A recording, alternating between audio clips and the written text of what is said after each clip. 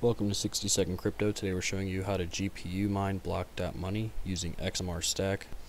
Uh, Bloc.money is a CPU mineable coin that was announced on new CPU coins uh, just yesterday on the 22nd. So it's still very profitable for either CPUs or GPUs. First, you're going to want to download the Windows 10 wallet slash miner client. If you need explicit instructions on that, you can go look at my CPU mining instructions for Bloc.money.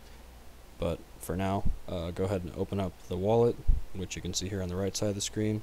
Can copy an address down from the top when it's needed. Uh, first, we're going to need the pool address though, so you can copy that down from the configuration generator on the link I left in the description. Open a new XMR Stak file and type in cryptonight underscore heavy as the algorithm or currency.